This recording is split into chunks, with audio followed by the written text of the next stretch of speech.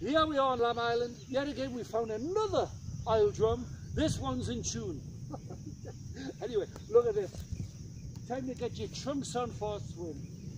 So, in honour of the weather today, my blue heaven.